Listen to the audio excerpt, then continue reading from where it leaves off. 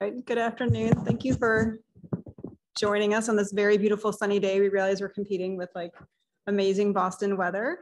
Um, I want to thank, first of all, the BU Office of Research and our Vice President Associate Provost Research, Gloria Waters, for hosting us today. My name is Jennifer Grodsky. I am BU's Vice President for Federal Relations. Our office is in Washington, D.C., and we advocate for the university's priorities on Capitol Hill and with the administration. And one of the roles that we play is connecting policymakers with BU faculty and students. And the lawmakers that we work with are really eager to learn from experts such as yourselves, but they often don't know how to find you or engage with you. Um, and similarly, we often hear from faculty and occasionally students um, who would like to share their expertise with members of Congress or other federal officials, but they're not really sure how to do it. So I am very delighted uh, today to welcome Dr. Adam Levine of Johns Hopkins University. Dr. Levine is an associate professor of health policy and management in the Bloomberg School of Public Health. He is also the president and co-founder of Research for Impact, a nonprofit devoted to creating collaborative relationships between stakeholders such as policymakers and scientists. And I first had the good fortune to meet Adam when he spoke on a panel at the National Academy of Sciences last year. And I will say I was really intrigued by his scholarly and evidence-based approach to the important work of bringing people with diverse sets of expertise together. I am very pleased he could be with us today. He has a wealth of knowledge to share with us. He's also promised to leave a lot of time for your specific questions. So I'll ask you now to be thinking about what you want to ask him. I'll add that today's session is being recorded and he's going to share his slides. So you can uh, review this again and, and take a look at the talk in the future or share it with other folks who aren't here today. And with that, the floor is yours, Dr. Levine. Right.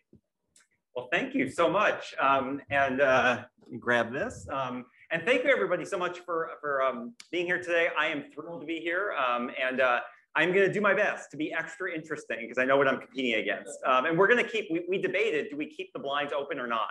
But we're going to keep them open. Um, but I'm going to do my best to sort of like get your like eyes focused here, not over there. So we're going to see. We'll see how we do. Um, I am going to sort of, I figured I would talk for like about 25 minutes or so. Um, and then um, the rest of the time is for Q&A. But also I should say, like, if you have a question, like in the middle of something I say, like, you know, like, please raise your hand. Like, you know, please do not like be shy about that at all. I realize the sort of like the room is sort of set up in such a way that like, you know, it's not, you know, we're not around a circle or anything like that, but I really want to sort of encourage you to ask questions at any time.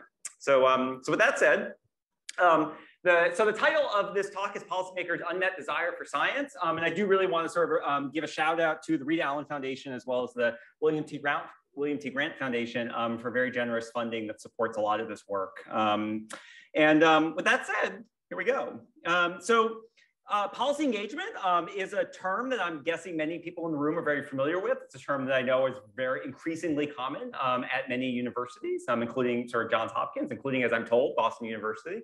Um, and when people think about sort of policy engagement, um, the question becomes like, you know, what do we mean? Um, and so I think sort of some of the most common and visible forms that people often sort of talk about, at least that I see them talking about, one is dissemination. And so where you sort of like, you've done research and you're disseminating it out to the world. Um, that might take the form of op-eds, that might take the form of white papers, that might take the form of um, engaging in social media. Okay. Um, then there's what I would call sort of collaborative relationships that are oriented towards formal collaboration. And when I use the term formal collaboration, what I mean is sort of like people working together where there is um, a degree of interdependence, so shared ownership, decision-making authority, and accountability. Um, and what that might look like, the kind of forms that that might take might be, say, being on part of a task force, being part of a committee, um, engaging in some sort of consulting arrangement, uh, maybe engaging in a research partnership. Okay, so there's a number of different formats like that.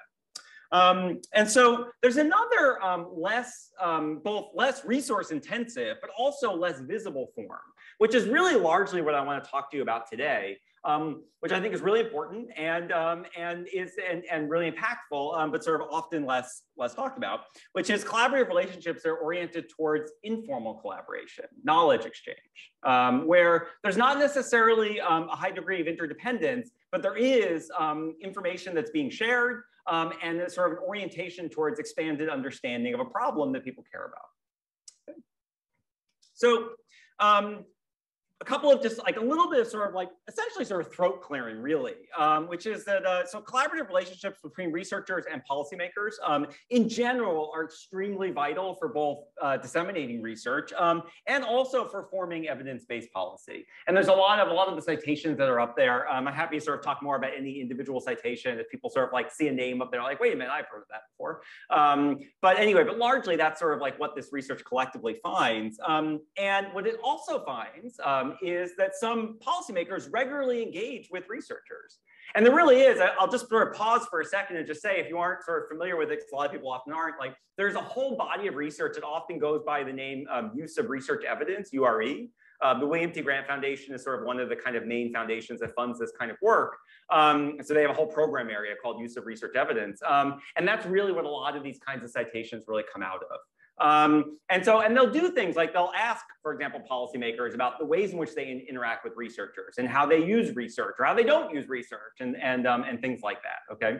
Um, so anyway, so some policymakers regularly engage with, with researchers. The question though that I was interested in that really motivates um, what I'm gonna present to you today is a slightly different question, which is, do policymakers have the collaborative relationships that they want to be having with researchers? So you sort of see how, right, like the thing, the second bullet point up there is more of like a kind of like kind of uh, speaks to, and a lot of that researcher speaks to like more of the supply side. What are researchers doing?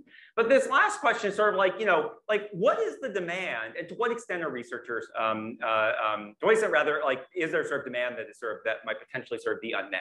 And that's this term that I use called unmet desire. Um, and I'm going to use that basically throughout the talk.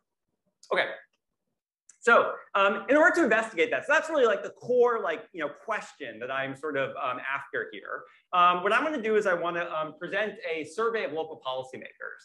Now, the initial motivation for this survey of local policymakers, um, and the data for this, by the way, is like super cool. I'm just like, that's like a kind of like for, um, foreshadowing. the like initial motivation for even doing this in the first place is, I'll think back to like March of 2020, um, the world was sort of like shutting down in the United States, and, and people were sort of, you know, there's a lot of like work from home that was starting for many, not everybody, but for a lot of people. Um, and um, a lot of policymakers, especially local policymakers, who are very much at the front lines of sort of public health in many, many ways, um, they were facing unprecedented challenges. And so me and a colleague of mine kind of knew that. Um, and you know, we basically start just started reaching out to policymakers, local policymakers, um, uh, mostly at the county level. And we sort started asking them, like, you know, are there any like policy kind of in light of what's happening? Are there any policy challenges that you're facing in which like you think research would be helpful? And you know, first of all, like the initial response, as you could probably imagine, was kind of like, "Wait, who are you? like, what are you doing?" I was um I, I, was on faculty at Cornell at the time, so in upstate New York, and so we were doing this for like local policymakers throughout in counties throughout upstate New York. Anyway, and so that was like, the so we had to kind of get over that like hump a little bit of like, you know, like what's going on here? Um, but, you know, but then like, you know, people actually responded and they said things. I mean, you know, I'm talking about like, you know, county legislators, I'm talking about like county executives, you know, and they would like tell us things. It would be like, yeah, you know, I need to find some way of like providing childcare for first responders. Now the childcare centers are closed. I have residents in more rural areas of my counties and we need to provide mobile services to them you know, I need to do, I'm here something, right? Like as somebody who's like a political scientist by training, we do surveys like, you know, it's going out of style. But like, if you've never done a survey, we had a county legislator was like, we need to survey our town supervisors to even get an understanding like, like what are their needs? And I'm like, I've never done a survey. Like what, you know, what, like, what does that consist of? What are the best practices? What do I need to keep in mind? Things like that. So anyway, so that was sort of, so we had these experiences. That was in the spring of 2020. At the time, it was fairly informal between me and, and, and my colleague, Elizabeth Day.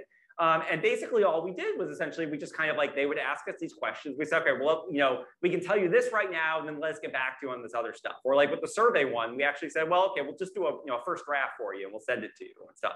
Anyway, so that's what happened. And so the question sort of was like, all right, like, you know, was this just kind of like a weird fluke because it was March and April of 2020? Or is there some sort of like, you know, is this just the tip of the iceberg? Is there some sort of broader sense of like unmet desire and like what might it look like? And so that's what motivated this survey. So, all right, so this was, so there, here's the data. So there's this organization called Civic Pulse. It was started by a couple of political scientists. Um, and, um, it, um, and they have a national sample of local policymakers.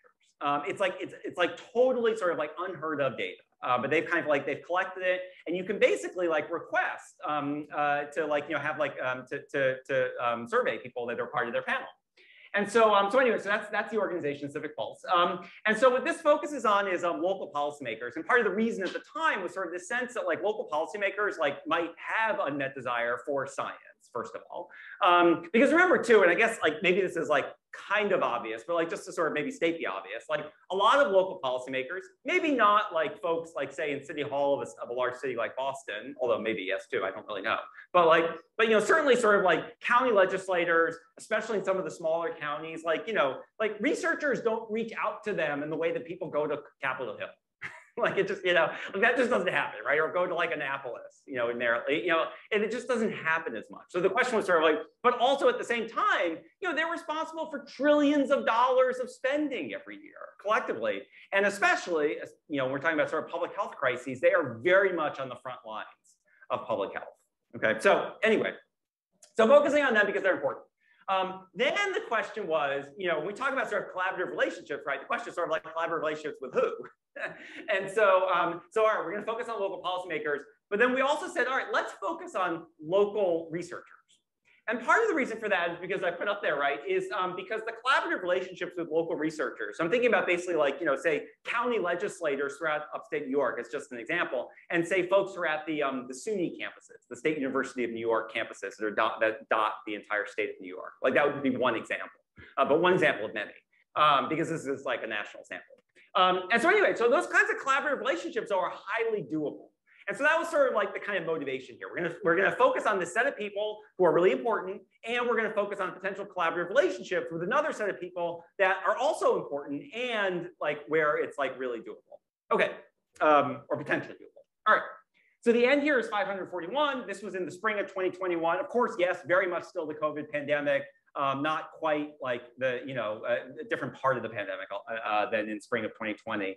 Um, and then I just, if I'm happy to say more about this, if anybody's interested, there are survey weights here to increase sample representativeness, because as you can probably imagine, getting legislators to respond, you know, some are easier than others. um, just gotta leave it at that. Um, okay, so um, so what I want to do, actually, before I put that up there, um, I want to do what I want to do is I want to present to you some of the results from this survey. Okay, um, and these are going to be figures that are taken from a paper. Um, there's a paper if you actually like Google um, my name, Adam Levine, um, and unmet desire. If you just Google Adam Levine, trust me, I don't come up. Um, but if you Google Adam Levine and unmet desire, the paper will come up, and it's publicly available. Um, but anyway, so the the figures are going to come from that. Okay. Um, actually, maybe what I'll do before I do that though is just pause for a second. Does anybody have any any questions? Anything? Yes. You've been referring to county legislators. You mean state legislators that are from individual counties? Uh, no, I mean legislatures in the county. County. Yep. County and actually municipal too. So the, the sample is actually a combination. What Civic Pulse has done is they've taken county and municipal, and they, so it's everybody at the local, um, or almost everybody at the local level. We have town meetings in the towns here. Oh, got it. Uh, yes. Um, so it is true that once you start talking about local politics, like things are very different, but the, but the sample will include, certainly has people from Massachusetts and certainly includes both municipal and county level government. Absolutely. Yeah.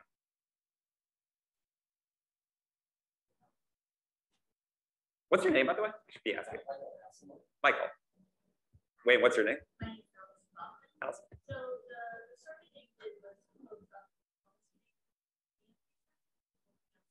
Just policymakers. Yep. Thank you for asking.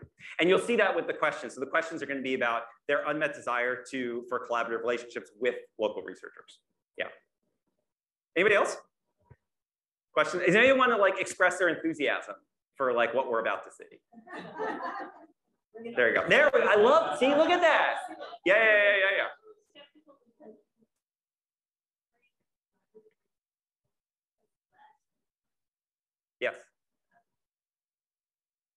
Awesome. Let's do it.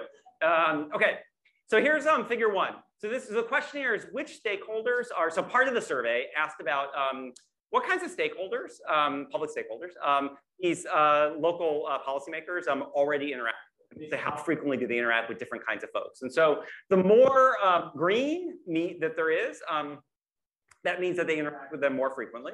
Uh, the more red means that they interact with them less frequently.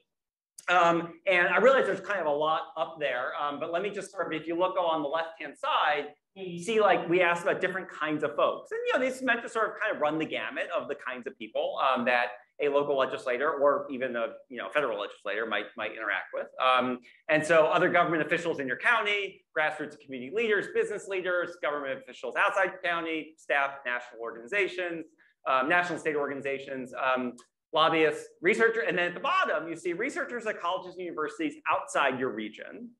And then researchers at colleges and universities within your region. So you can think about sort of non-local and local.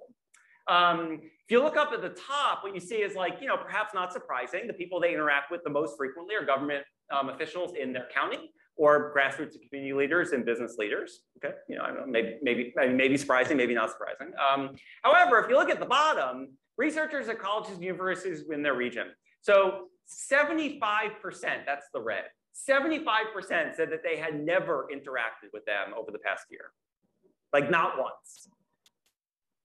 If we say, all right, well, fine, maybe what they're doing is they're all interacting with the Bloomberg Cities Initiative, okay, or, or whatever, right? And so like, all right, so let's like expand it to researchers at colleges and universities outside their region. All right, you know, now we're about like 70% who have said that they've never had any interaction whatsoever over the past year. And so I think that like, you know, um, uh, this is sort of like telling that, you know, this is sort of, this isn't happening right now. Now, of course, you might sort of say, well, okay, fine, it's not happening, but you know, so what, right? Like, I mean, it's just not happening. And, you know, maybe because maybe they say like, you know, I don't really need that. So there were other questions on the survey that more directly sort of tap into this sense of unmet desire. And I also want to sort of acknowledge that you might be sort of sitting there thinking like, you know, what exactly, like when you say unmet desire, like what do you mean exactly? So let me sort of give you examples of those questions. So here we asked, um, uh, how, so the existing is basically what was on the previous slide. This has been differently, but it's basically like what was on the previous slide, okay? So you see sort of like all the way on the left-hand side, this is the 75% that said that I had over the past year, no interaction whatsoever um, with, local, uh, with local researchers, okay? Uh, and so that's, so that's the dark green. So over the past year, how much have you interacted with local researchers? Then the light green was well, but looking ahead to the next year, do you want more than what you currently have, the same or less? And what you see is that basically about almost 60% said that they want more than what they currently have. And so when I sort of use the term unmet desire, one of the ways I'm thinking about it is basically this, right? And of course, this is going to include a number, you know, most, most of the people there have none right now, just given the size of the dark green bar. Um, but in general, like when I use the term unmet desire, part of what I'm looking at is basically this. The approximately 60% of respondents who said, I want more interact, more collaborative relationships, more interaction um, with local researchers than what I currently have. So there's, here's another way of, of measuring that, um, which is, um, so now we ask like, how often over the past year have you been contacted by um, a researcher at a local college or university, okay? Um, and so what you see on the uh, left-hand side is that approximately 80% said that they had not been contacted at all by anybody at a local uh, uh, college or, or, university. And I should say, by the way, you know, yeah, almost everybody, I mean, colleges, we have colleges and universities all over the place in this country. So almost everybody has one that is like kind of within the region. We did actually have a question on there about like, you know, oh, do you like, do you have one in your region? And if you take out the few people who said no, I mean, the pattern is roughly the same um, and stuff. And so anyway, but so yeah, so about 80% said, no, no, no, I've never been contacted by anybody in my local university. Um, and then, but are you open to it? So are you open to um, having somebody at the, uh, at the local college and university reach out to you unprompted to talk about research related to policy challenges you're facing? And that was actually precisely how the question was worded. So talk about research related to policy challenges that you're facing. And what you see is that approximately, um, just slightly, it's slightly uh, below that, but anyway, approximately 80% said yes. So again, when I use the term unmet desire, in part I'm sort of saying that, that what was on the previous slide, that like approximately 57% who said that they want more um, interaction over the coming year than what they've had already. And then I'm also looking at this um, bar right here that say, yeah, are you kidding? I would be more than happy to have 80% of people, um, uh, or sorry, 8% of people rather saying I'd be more than happy to have local uh, researchers reach out to me. Now, it is absolutely fair. I can tell, I can just tell by like the look on your face that what you're thinking is, well, okay, fine. These are just survey responses. You know, cheap talk. Yeah, fair enough. It is. I mean, so we had another question um, that came after this, um, which asked like, oh, it was open ended, and it was like, all right, well, what kinds of policy challenges do you want to talk about? You know, and, um, and so the, and the answers were, you know, were extremely varied. So again, I want to remind you, this was the spring of 2021. The answers were basically like all over the place. And what I mean by all over the place is that like they really like reflected the rich diversity of local political agendas, right? So, you know, some of the kinds of issues that uh, were at the top of like, like kind of like national level politics at the time, like for example, like fights over mask mandates, like almost nobody said anything about that. The kinds of things that they talked about were things like local environmental issues, land use issues, some education stuff, but not critical race theory. Again, thinking back to like, you know, what was happening at the national level in spring of 2021, okay? Um, you know, so those kinds of things, which again reflects the fact like those are the things that local um, policymakers that they're dealing with um, all the time. Um, okay. Yes, um, please. What's your name? Rebecca. The people, number of people contacted is equal to the, the amount that do not want to be contacted. So is there something in there in terms of how researchers are doing it? You probably get to that, but I'm just curious. Yeah, so if, if you were to basically, um, it is not um, it is not the case that these two overlap. Um, yeah, and so I don't I don't have that on the slide, but thank you for asking. It is not the case. I mean, I think there's like a little bit, but like it's not the case that the majority of people were like, yeah, you know, that asshole, pardon my French, is being recorded, um, contacted me and like, you know, I don't need this. um, but there, there was a little bit. I mean, you know, which I mean, you know, that's that is the way that's the way the world works. You know, um, some interactions go well and some don't.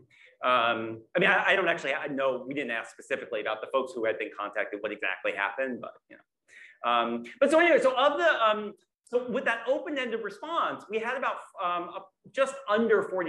It was like, I'm trying to remember the exact number, but it was just under 40% of respondents um, who, who volunteered a response. Okay, and so I think that it's reasonable to sort of say, so look, was it, you know, 80%? No. Was it 57%? No. But it was about 40% who basically like took the time in an open-ended question to tell us about an actual policy challenge that they would want to talk about. And I'll also just say that we got very few open-ended responses that basically told us like that, that like very few people who took the opportunity to criticize like research in our like open-ended text box. Okay, I mean, for the most part, the kinds of responses we got were like, you know, real policy issues, which again, really reflected the varied um, and textured nature of local political agendas. Okay, so um, I, a lot of the research I do um, is on sort of like I, in general, I sort of do research on the science of collaboration, but I also sort of a lot of the research I do sort of you know aims to have this kind of actionable element to it. And so in the process of doing the survey, I'm also thinking to myself, you know, um, like what do we need to learn? Sorry, hit that by accident. What do we need to learn um, in order to actually sort of take these results, like we researchers, what do we need to learn to take these results and then actually sort of turn them into action, right? And so one of the things that I'm really interested in is, um, you know, how it is like that that people who are strangers like relate to each other. Because if you think about it, right, like when we talk about sort of like researchers and policymakers interacting for the first time, you know, like when Jennifer interacts with policymakers, like she knows them already and they know her, right? And so there's already like this sense of like, I know how to relate to you okay? But like, you know, if I reach out to like, you know, a random legislator, like was what we were doing in March of 2020, like I'm a stranger and they are strangers to me. And there's all sorts of like ways in which like we can be, and this is just a more general point, we can be uncertain about how to relate to strangers. And so one of the things I'm really interested in is sort of unpacking essentially what I call relationality, which is essentially where how do we relate to others? How do they relate to us? But then even kind of more so digging a little bit deeper, like what kinds of things are, what might we be uncertain about when interacting with strangers? Okay, so that's where this comes from. So this comes from basically trying to say, all right, like, you know, thinking about like a researcher, eh, like reaching out to a policymaker, they've never interacted before, okay? Like what should that researcher potentially be keeping in mind? What should that researcher be cognizant of? What kinds of hesitations might the policymaker have about interacting with the researcher? So this was um, a series of closed-ended questions. So all of this text appeared on the survey. So I like I wrote all this, okay? And so um, so this, it wasn't open-ended responses. Um, and so we gave them a list and we asked basically like, you know, do you have any of these um, concerns about interacting with, with um, researchers at colleges and universities in your region? And we just said, you know, just click yes or no. And so what you see, and so what these percentages are, that so the 47.5, 34.1, et cetera, are basically the percentage of respondents who said, yes, I would be concerned about this, okay? And so what you see is that sort of, first of all, like, look, a majority of people um, like did not say any of these things.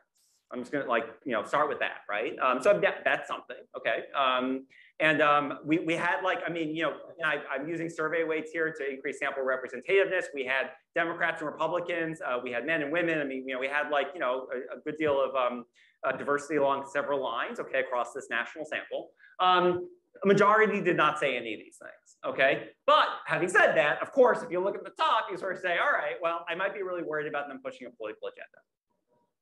Um, okay, Right below that is I'm worried about them maybe not having practical information.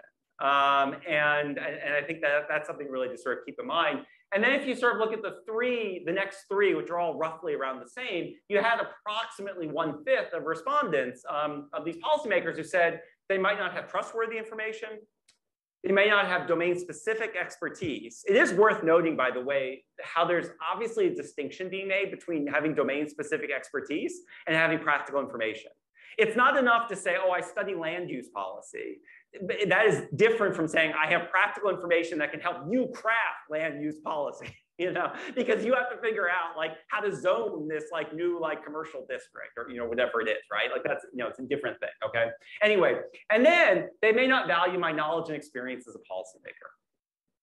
Um, the last one, I'll also say, um, and I'm happy to talk more about this in Q and A, but like um, in between doing that initial thing in March of 2020 and fielding this survey, which was a year later, I did a lot of interviews um, with local policymakers. And so some of these things, actually like all of these things came out of these interviews, basically. Like, that's how I even like came up with the list. Um, and one, and what's interesting about that is that like um, the policymakers have these stories about sort of what it looked like when researchers did some of this stuff. So the like they may not value my knowledge and experience as a policymaker. So you have these like po local policymakers who sort of talk about basically researchers who sort of come into these meetings and they just sort of like like spew information. and then it's sort of like there's like mic drop and they leave.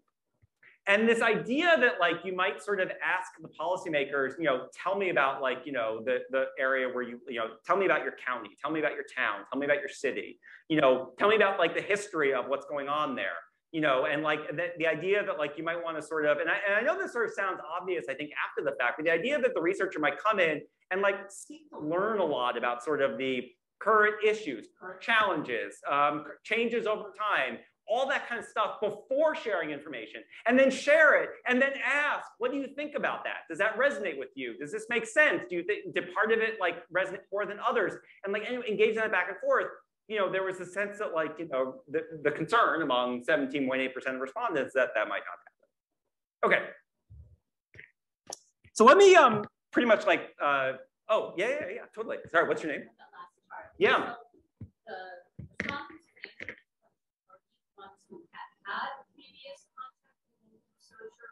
or are people who never met them who hypothetically use it must have it based on whether they actually? Uh, no, so I didn't do that. That's a great question. No, I didn't. Um, and um, what's your name? Yeah. Debbie. Um, that's my mom's name. Um, and um, uh, so no, I didn't do that. And um, but uh, the if you look at like so the 80% who said that they had had no contacts, that's the majority. The results are more or less the same. Um, but um, I did not do it for the for the 60% from a couple slides ago. Yeah. Um, I'll have to get back to it. Um, so, eh, so okay, so so I want to just like highlight a few takeaways. So the obvious like takeaway, just like immediate to the data, right, is that there's uh, what I would argue, what I, and what I, what I argue to you this on this beautiful afternoon of ours, okay, is that there's substantial evidence of unmet desire for science among local policymakers. That's kind of the most immediate response. And so I should also say that the patterns, uh, I, I, put this up here because a, a common question people ask about the patterns do remain regardless of partisanship, gender, and age. Now, the one caveat to that is that the researchers will push a political agenda that is definitely more Republicans are way more concerned about that than Democrats. That's like the one caveat to that. But everything else I, I showed you, and in particular, the unmet desire stuff applies regardless of that. Okay.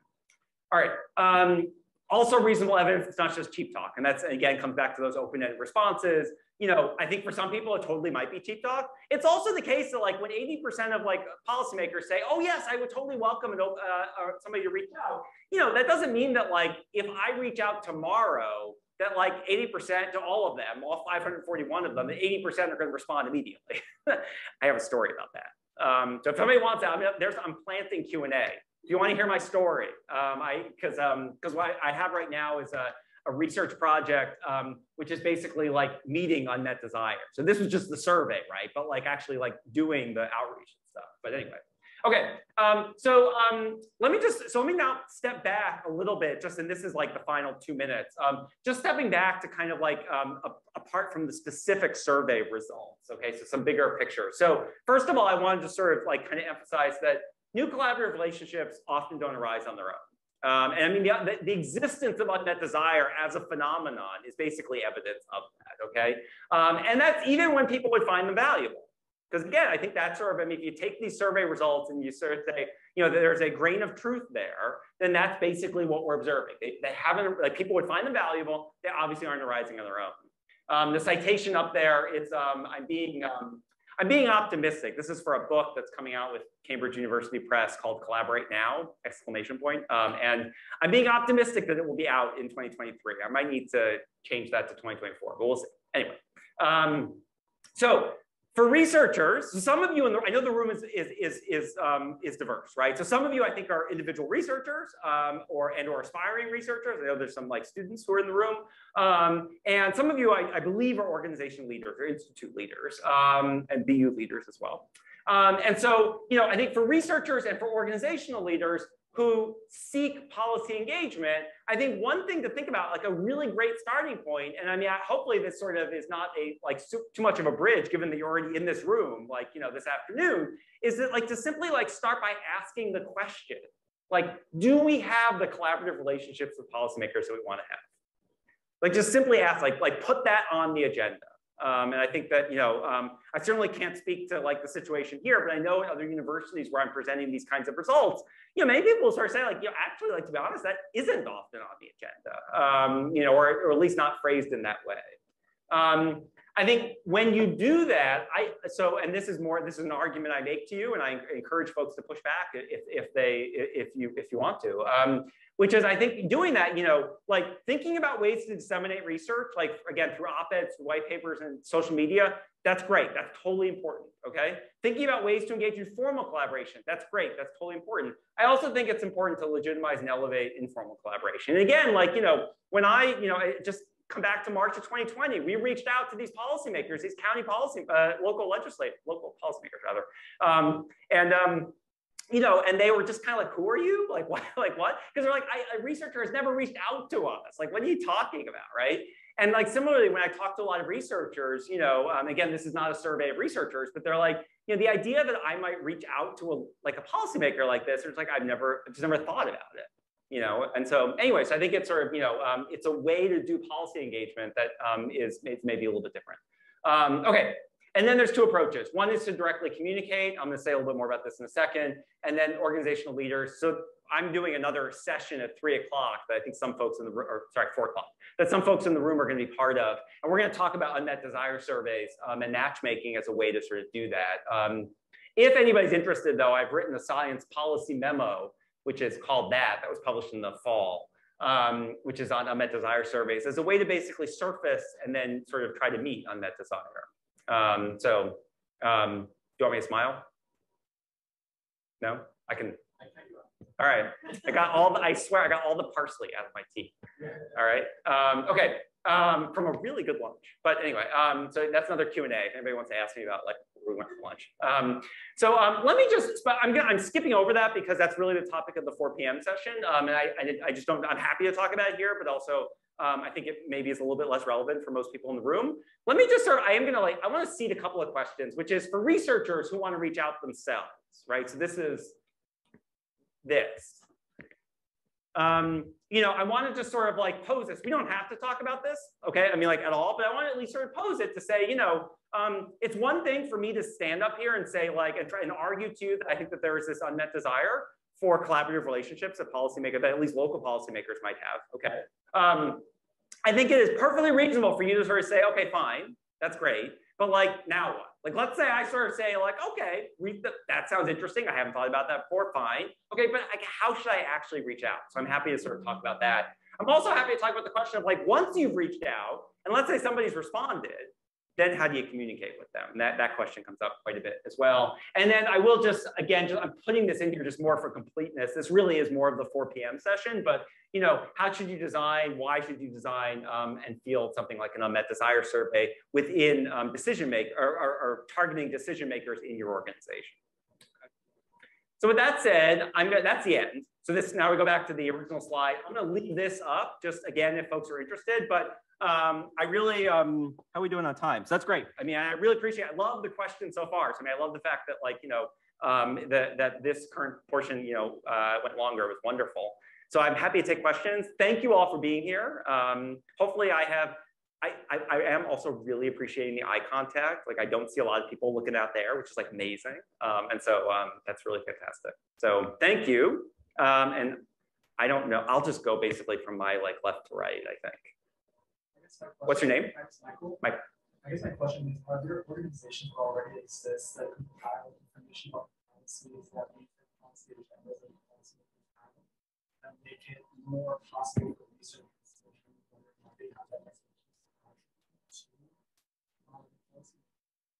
Yeah, so that's a great question. So thank you for asking that. And so, um, so the answer is definitely yes, and it differs, like I think, for different areas and stuff. And I, and my hunch is, and actually, I'm guessing, like Jennifer probably could speak to this quite a bit for like, particularly for the local BU level. It's also the case though, um, and, and I know that like, you know, Johns Hopkins has a federal relations office, and then there's probably also like state level folks as well. So that would be different. Um, I don't know if there's Boston City folks. Oh yeah, so yeah, BU has like the full gamut. Um, it is also the case that like, and so this kind of comes at, okay, I'm going to use your question, Michael, as an excuse to answer the, to speak to the first one about how should you reach out. Um, look, I'm not, nothing works 100% of the time because people are busy and other things are going on in people's lives and all that kind of stuff. I will say though that like, you know, asking like, and especially maybe say like local legislators or maybe like staff of say state level folks, you know, because the state, once you get into state and federal, it can be hard to like reach them directly, but I mean, you can hardly reach local folks too. But, um, but you know, asking the question like, are you facing any policy challenges, you know, in which you think research might be helpful? Like, I've had like quite a bit of success with that kind of outreach. And it's true that like, you know, and, and you know, at, at the very least, you might sort of say, well, I don't really know what, what they're going to say and how am I going to respond to that? Which is, that's a totally fair point. I mean, at least at that point, if you, you know, you start by with committee assignments and you sort of say, okay, well, look, you know, my area of expertise maybe is sort of like child and family policy. So I'm going to target folks on human services or, or, and I've had legislators who say this to me, like, why don't researchers ever come to our meetings? you know, and I, I um, like, you know, why don't they just come to like a, you know, a, a uh, either a local legislative meeting or maybe a town meeting is sort of the better, like, would be the better uh, um, format for for here, you know, or like things like that. Um, and so anyway, because then what you do is you, you know, you, you're learning a little bit more about the agenda and then you can sort of follow up based on that. Um, it is interesting, sorry, one other thing on this, right, which is sort of, you know, I think, um, you know, when I tell people about sort of like collaborative relationships, sometimes there's kind of this look of like, you know, okay, fine, isn't that kind of obvious? I build relationships in my life all the time, blah, blah, blah. It is interesting. And I'm not going to say that like this is true universally, of course, but like I do think it's interesting that like how many researchers I know who sort of like they know what it's like to build relationships like in their lives, but yet with policymakers, there's this sense of like, well, all I'm going to do is basically just try to like tell you about my research. Like that, that's what I'm doing, right? And like when you talk to policymakers, they're sort of like, well, you know, like your research is not on my agenda right now. like maybe it is, but like a lot of times it isn't. And so the idea of like doing relationship building where you sort of ask them, like, what policy challenges are you facing, you know, and things like, and starting that way. And of course, yes, over time, you know, it might be that at some point you're like the thing that you you really care about and, and whatever like comes on the agenda, and then like you are the person to talk about it. But it may not be that way right away. And in fact, in surveys of policymakers, they'll talk about that. They'll be like, why don't researchers just ask us like, like not always be trying to get something from us, you know. Anyway, um, uh, I think there was, I'll try to go over. No? Yeah, um, first of all, I totally, that resonates with me a lot, the idea that faculty not asking questions first. um, I've that experience a lot, so I, I appreciate Um, in fact, in the city of Boston, we just had a meeting with the faculty, just wanted to share everything in this, this talk and say, let's ask what the Green New Deal team is doing, what they're, Oh. you know, what they're interested in. So that's, I think, feel like that's a big message for me. Um, but can you share some, like a specific example or two about this being done well? Like a, you know, an idea of that, just, just that kind of informal collaboration, how it started, how it works better, best. Yeah, um, how much time do you have? Just a short version. There were other hands though. Um, so let me, um, so I'll give, so one example of what's happening right now. So that, um, that, and this is like super, I mean, this is like literally like this week kind of happened, you know, and over the past couple of months. So, um, so I have, um, a project right now. So Elizabeth Day and I did that initial outreach in March of 2020. Uh, Elizabeth Day is my fantastic and amazing colleague. We were both at Cornell together in 2020, and now she's at University of Oregon and Cornell. She has two affiliations, and I'm now at Johns Hopkins. But, um, um, but we, we still, we, we still work together. And, um, it's great. And um, so we have we have um, a project right now where we're actually trying to basically do some of this outreach. And so one of the things that we're doing is like so um, is a project where um, we're as, as part of it rather. I'm going to upstate New York counties and visiting like legislative legislative meetings or meetings of boards of supervisors. It kind of differs depending on what county you're talking about. And um, and actually sort of saying like we have a new initiative like you know to bring research related to child and family policy. So that's kind of the topic. Um, and if there's any child and family policy topic that you're challenge that you're facing in your county right now, you know, get in touch with us. And then, you know, what we can do is, you know, we'll have a conversation, like a needs assessment kind of thing, and then we'll pr produce a research brief. And that this is a project, it's fun, this is funded by the William T. Grant Foundation and things like that. And so we're having, so now what's happening, so I've done, like I did 13 of these county visits um, in February, March, and the beginning of April uh, last week. And, um, and so now we're having the legislators who, and, and also commissioners too. So also executive branch folks who are responding. And so what's happening is that, so this collaborative relationship is basically them sort of responding to basically like, you know, kind of learning about this new initiative that, that we have. Um, and then saying like, you know, uh, mental health is a big issue in our, in our um, county or um, uh, uh, retaining um, and recruiting um, caseworkers is a really big challenge in our county or um, uh, um, uh, oh, oh um, uh, youth belongingness is a really big challenge in our county. Um, aging is a really big challenge in our county. Transportation, I mean, the whole long list. And so I sort of like they, they sort of share that. And then we have a team of research assistants who are basically putting together kind of the latest research that, you know, to sort of make evidence-based um, uh, we don't make policy recommendations, but we basically sort of say just kind of this is like an overview of what the evidence base says. And so that would be an example there. So there's no like, there's no interdependence between us. We're not sort of engaged in some sort of like research partnership where we're conducting new research together or anything like that. It's a fairly sort of short term thing. Um, and, but you know, it's meeting their needs. Um, and this is another example, right, where I think when I go to these, when I've gone to these legislative meetings and I stand up, I stand up like there's usually like an open floor part, like privilege of the floor. You raise your hand and the chairperson's like, "Hey, you in the red sweater," you know, or whatever. And like you stand up and you know, you're at the podium, whatever. You get three minutes, and then three minutes, like somebody like yanks off, and like you know, then somebody else gets up, and like you know, the typical response is just sort of like you know, like like who, who are you? I mean, like like nobody has ever come like what what is this thing about? That's the, the most usual response is sort of like what is this about? You know, and then it's kind of like oh I see. And of course, not everybody's interested. Of course not. But you know, that's just one example of kind of initiating it. Yeah. Well, thank you, Adam. I'm Thank you. I have a question for you about this unmet desire for science. Yeah. So I represent the social sciences at the Oh, How capacious is that definition of science? In other words, my social science is a for dissemination. yeah. But when it comes to collaboration, I feel like certain disciplines are going to be more challenged by this. Yeah. Because I imagine that is over limits suppressing, you know, headline news grappling. Yep.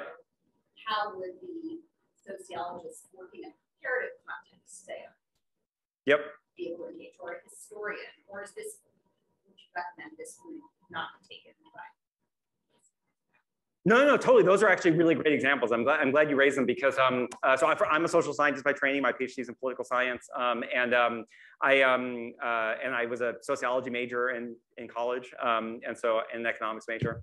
Um, so I, I'm trying to run the gamut here, um, but um, to some extent. Um, and so, um, yeah, so a couple things on that. So, um, so again, first of all, I think it's really important to, to be clear about what we mean by collaboration. So might they do formal collaboration where like essentially a, you know, a policymaker said, we need an evaluation of the impact of this policy. Can maybe. Um, I mean, I think a lot of like um, arts and sciences folks don't necessarily see themselves as sort of doing policy evaluation. That'd be more like kind of public policy school typically. I mean, you know, of course, there's wide variation. And so that may or may not kind of be a good fit. But like the kind of, if we're talking about the informal collaboration, which is just like the kind of the knowledge exchange that's happening, I think there's like tons of examples where, you know, um, a sociologist, you know, who studies information might have lots of things to say about what are the ways to sort of like combat misinformation? What do we know about this? What's happening elsewhere? That's by the way, oh, actually, I should have said that in response to the previous question. The format of like, when I'm saying we're doing research briefs, like sometimes it's basically like, oh, there's this published research out there, we're gonna summarize it for you. A lot of times it's basically just like, what are other places doing? And that was the initial stuff we got at the beginning of COVID, like where, you know, it's basically like, you know, what, how are other places dealing with this childcare crisis? Or how are other places using mobile vans? Like I remember at the time thinking to myself, because again, like I, I, wasn't necessarily subject matter. So I, I'm doing kind of the outreach side of this, whereas my colleague Elizabeth Day is doing, she's more of the top family policy expert, the subject matter expert. And like, you know, I, I have to, I remember, I'll never forget saying to Elizabeth, I was like, I don't even know what a mobile van is. Like I kind of, I, I know like what the words mean, but I don't know what it like looks like, like what it, you know. And so anyway, but so um anyway, but that was sort of like, that was what the nature of it was. And so I can imagine like with the historian saying like, maybe not what's happening like, you know, um, uh, in other places, but rather what's happened at other points in time. What do we need to know? What, what, what didn't work well in the past? and things like that. And so, you know, particularly, I mean, I think about sort of like the, you know, the pandemic. I mean, I feel like I learned so much from historians who are experts on 1918, um, among other things, of course. But um, so, yeah. So no, totally. And I think it's really interesting. And, and um, you know, and I mean, is it going to work for everybody? No. And again, are all policymakers going to want to talk to historians? No. I mean, I think that's and you know, so there's a little bit of a sort of like experimental mindset that has to go in, but that's true of you know, any op-ed is not going to get read by lots of people. Any social media post is going to get zero likes, you know, et cetera, et cetera. Um, so, yeah, thank you. Hi there. Wait, you had a question from before. Well, I did.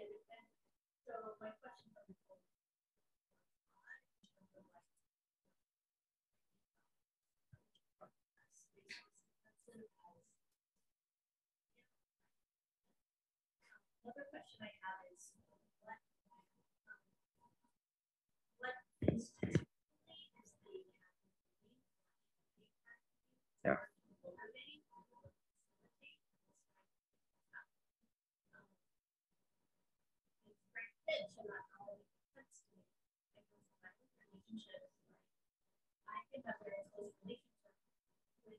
coworkers, but a lot of it is geographically based as Yeah. they find another job and then Yeah. that relationship starts to develop. Um, so I, I think relationships even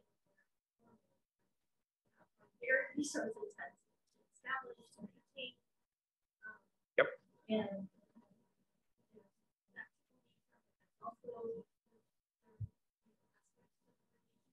Absolutely. uh, and so one of the things I'm really interested I think, I'm not a faculty member, um, but the faculty members that I know, they're motivated by publishing, writing Yep. grants, Yep. students. Yep. So what are the parts of the academy area? Two things. So, um, so first of all, I mean, I think I want to sort of, I, I want to sort of acknowledge like everything you said and say like that is real. And as somebody who is on the, you know, a tenure track faculty member as well, like I, I absolutely get that. And Um,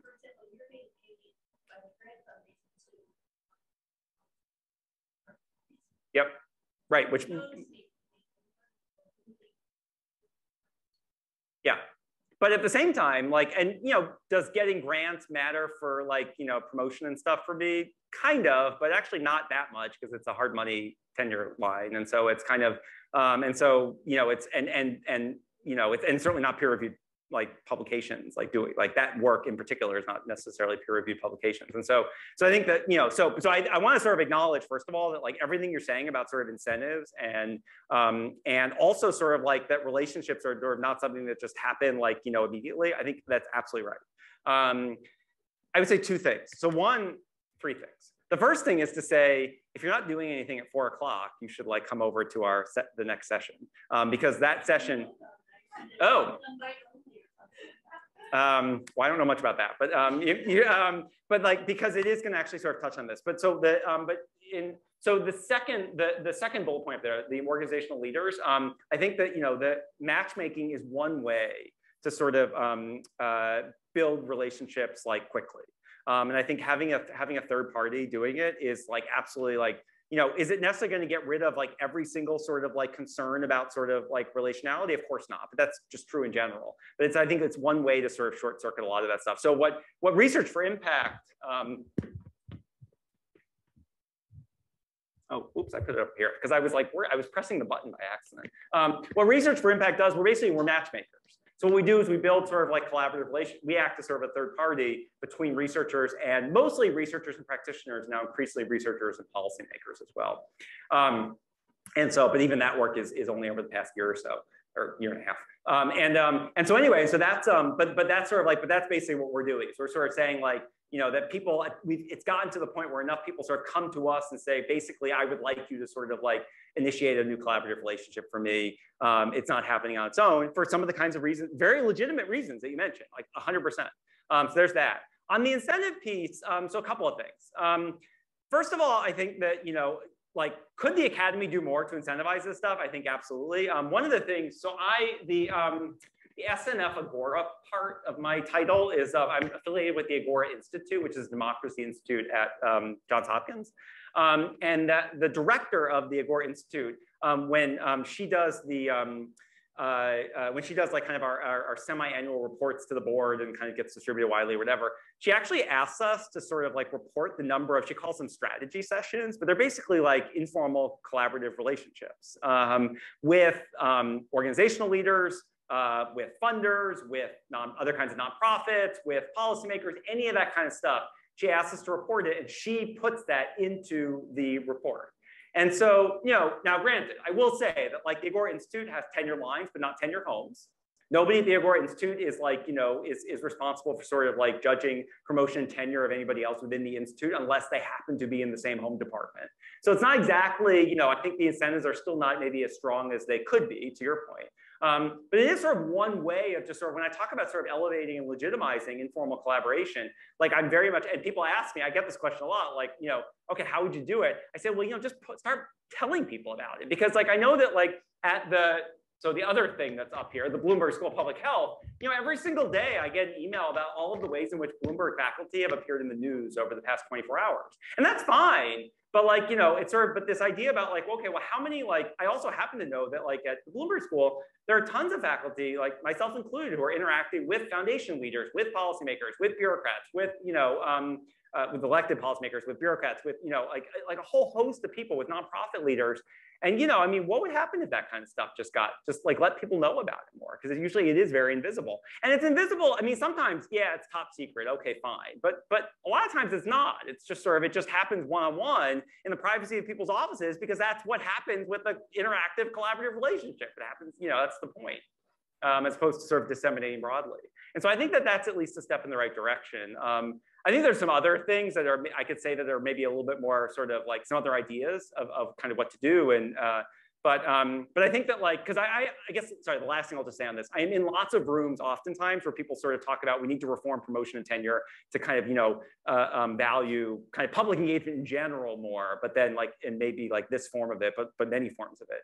And I think that's totally fine. And I, you know, would be happy to support that um, or in theory support that. I mean, kind of depends on what it is, but like, um, but I think that, you know, one of the things I really like about sort of just simply like, you know, asking faculty to keep track of it and publishing it in, in these reports that the director of the SNF Agora Institute does is at least just sort of, it's like, it's, it's easy. It's like initial step, just sort of changes the conversation that, oh, this thing is happening. And like, you know, we think it's important enough to put it in there. So anyway. Oh, oh my goodness, two minutes. Um, yeah. No, no, no. What's your name?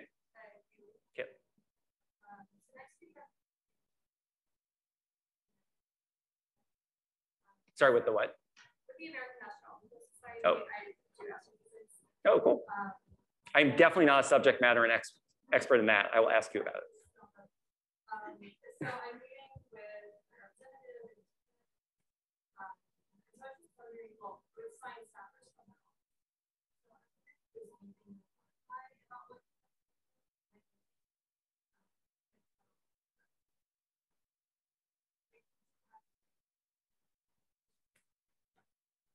Yeah, so that is um okay. That is a question that takes longer than two minutes. Um, it does though speak to, but it's really important. I'm, I'm really glad you asked it. Um, so um, the to me it speaks to the second, uh, um, well, the second dash thing, which is how should you communicate with policymakers?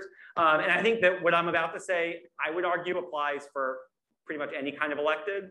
Um, and, I, and actually, especially for elected. So the, the thing that like researchers worry about, um, or it, it often worry about, basically, sort of, they don't want to be they're perceived as lobbying. Um, they're often not allowed to lobby. Um, I mean, especially depending on like who's, you know, if you have grants, like, you know, the grants will say you can't lobby, you know, et cetera, et cetera. Like, you know, money can't be used for lobbying, like all that kind of stuff, like really big restrictions on that. And so the question that often arises is sort of like, you know, and so what I would argue, what I think, I mean, you should push back on this, but like, to me, it sounds like what you're going to be doing is sort of like essentially advocacy.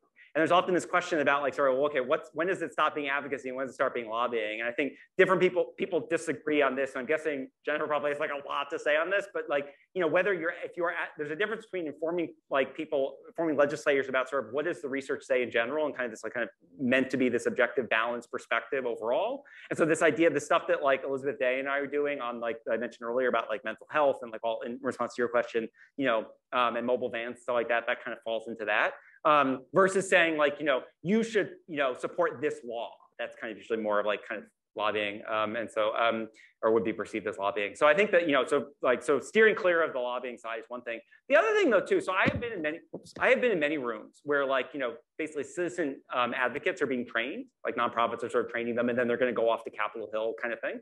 Um, and, um, you know, one of the things that like is really interesting to me about those meetings, you have these people who are like super like high socioeconomic status. Like when we think about sort of like anybody who sort of, I don't know if anybody in the room like studies kind of civic engagement or if there's any political science, nobody has revealed themselves as a political scientist, but if there are any political scientists in the room, like, you know, you sort of know that like, you know, people who are high in income and education and like, you know, other kind, all sorts of other advantages tend to be sort of more active in the political process in various ways. Well, I've been in rooms with like tons of those people who like still don't feel like they know how to communicate with policymakers. And especially, this is the last thing I'll say. I know I'm like over time, but like the last thing I'll say about this is that, and the thing that they don't, and this has been in particular with climate organizations, so they're gonna go have meetings with folks on their representatives on Capitol Hill about climate.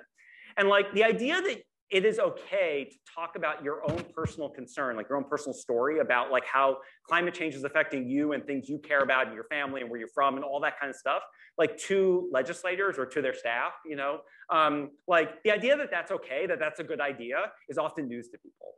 And I think it's, I think that's like super interesting because essentially like what the people in those rooms, the reason why those training sessions exist in the first place is basically because people feel like they don't necessarily know how to relate to staff and to legislators. And I think it's, so I, I so I, I, share, I share this in, in some sense just to sort of like, I think like normalize that and to legitimize that because like, you know, I didn't take a class in high school. You know, I went to high school in the United States. I did not take a class in high school to ever talk about how would you actually talk to an elected official or their staff member, like not once. And I, you know, I don't know. I mean, um, and so, um, and a couple of people are nodding. So I'm guessing that like, I can't be the only person in the room. And so I think, but that's sort of like, in terms of like how to speak to them, I mean, that those are, you know, that difference between advocacy and, and lobbying is, is really important. I'm sure you probably have, people have talked about that. I think also sort of talking about just kind of why do you care about this issue? And, and is I think actually also like really important. And, um, and um, yeah, so anyway, thank you. Thank you very much.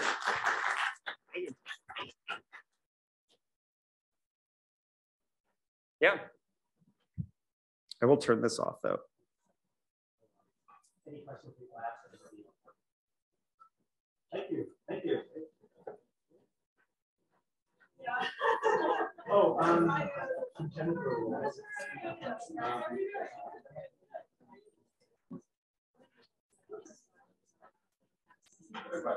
No, uh, Swanson had something. Um, so some of out. Uh, yes.